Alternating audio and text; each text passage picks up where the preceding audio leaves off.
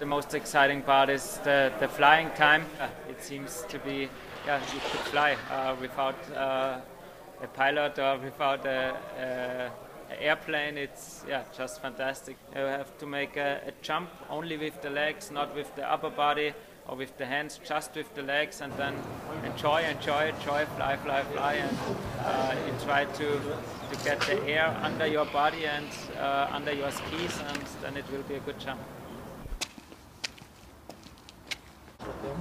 Through 100 and 150 meter, I realized that I'm yeah gonna be a that's gonna be world record, and I only fought after 200 meters.